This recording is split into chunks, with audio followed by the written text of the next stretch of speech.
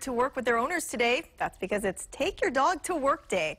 This national holiday was created by PSI Pet Sitters International as a way to celebrate our four-legged companions. It also encourages employers to experience the benefits of pets in the workplace. Local HR solutions firm ProService Hawaii took part today. I thought it's a great opportunity. Like so often, like work is super stressful, and it's just a nice way to kind of bring some lightheartedness and some uh, emotional support to the to the workday and have enjoy our companions that we don't get to spend all the time, all our time with.